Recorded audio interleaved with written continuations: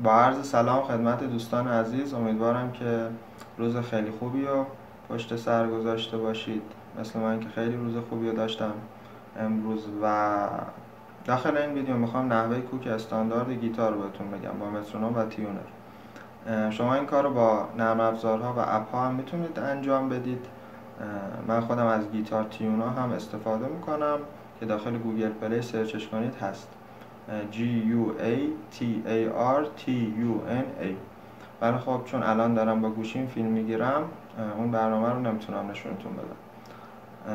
این یک مسئله. مسئله دیگه این که ویدیوهای آموزشی زیادی رو قصد دارم داخل یوتیوب آپلود کنم که کسایی که حالا می‌خوان گیتار رو یاد بگیرن و نمی‌تونن برن کلاس به هر دلیلی این ویدیوها رو ببینن و گیتار زدن رو یاد بگیرن. پس مطمئن بشید که کانالمو subscribe می‌کنید و داخل قسمت کامنت ها می‌تونید هر ویدیویی رو هر آموزشی رو که می‌خواین پیشنهاد بدید. من همه کامنت ها رو چک می‌کنم و به همه آموزش ها رسیدگی می‌کنم. اگر ویدیو رو دوست داشتید ویدیو رو like کنید. اگر که ویدیو خوب نبود dislike ش کنید.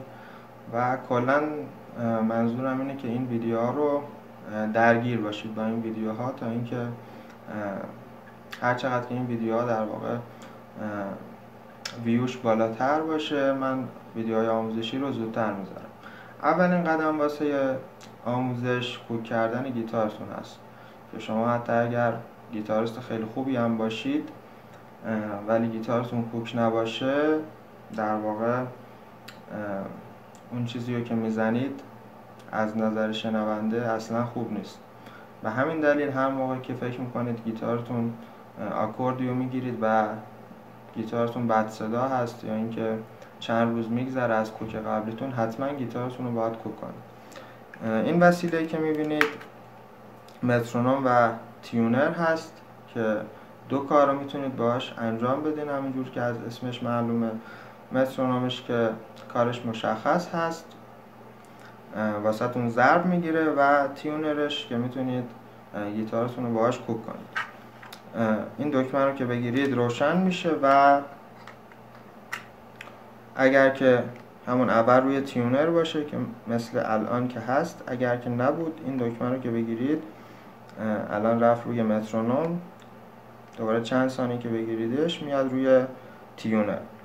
و مطمئن بشید که فرکانس تیونرتون 440 هرتز هست و این علامت سی رو این بالا نمایش بده. اگر که اینو چند بار بزنید الان رو یو هست و الان رو سی چون اینجوری شارپ ها و بمول ها رو نشون میده که شما بدونید در واقع گیتارتون چجوری کوک کنید و یه چیز دیگه این که باید اسم سیمای گیتار رو هم بدونید.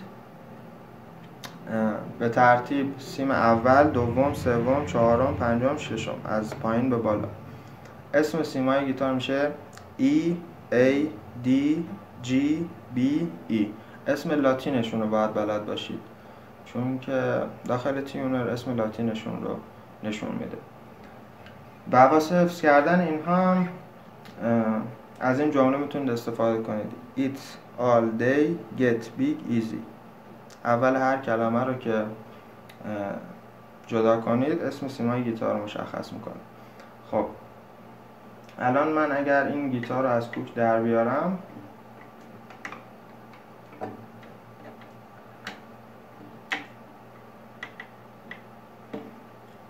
و سیم 6 رو بزنم سیما رو هم به صورت آزاد می‌زنیم.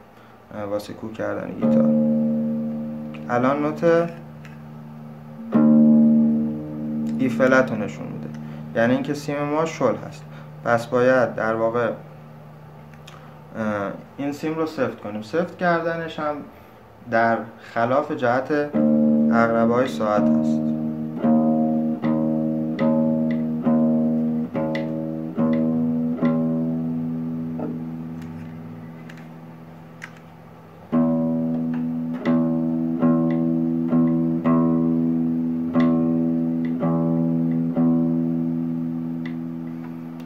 و وقتی سبز شد اون سیم کوک شده اگر که سیم پنج رو بزنم الان بی فلت رو نشون میده. چون نوت بی بعد از A هست الان سیم در واقع سفت هست و باید شلش کنید شل شدنش در جهت اقربای ساعت باید این کار رو انجام بدیم. گوشی اول از بالا سیم 6 هست مربوط به سیم 6 گوشی دوم از بالا سیم 5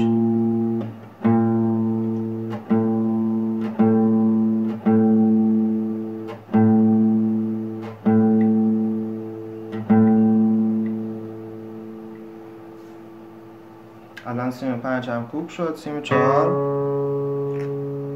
نوت سی شارپ نشون میده. چون بعد از حرف سی حرف دی رو داریم این سیم هم شل هست که باید سفت بشه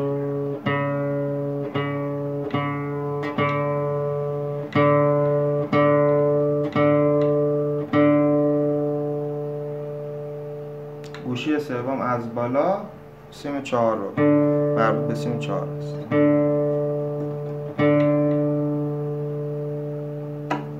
سیم سوم نوت جی هست که داخل مترونوم داره نوت جی شارپ نشون میده. پس این سیم رو هم باید شل کنیم تا به جی برسیم. در در واقع جهت اقربای ساعت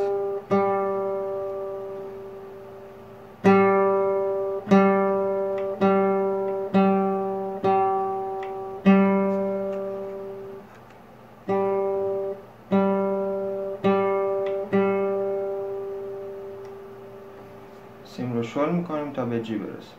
سیم دوم نوت بی هست که نوت بی فلت رو داره مترونوم تیونرمون نشون میده. پس باید این سیم رو سفت کنیم.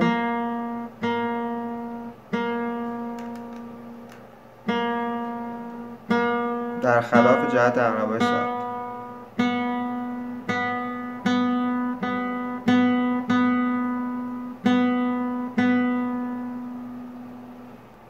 سیم اول نوت E هست که الان داره نوت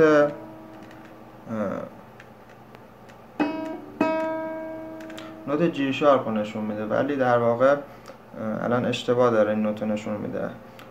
بهتر هست که مترونومتون که می‌خواین با گیتار کوک کنید یا اینکه به وسیله اون فیش به سر گیتارتون متصل کنید یا اینکه مترونومتون رو بذارید این قسمت گیتارتون الان نوت ای فلت رو داره نشون میده. ای فلت قبل از ای هست. پس سیم رو سفت می‌کنیم در خلاف جهت عقب ساعت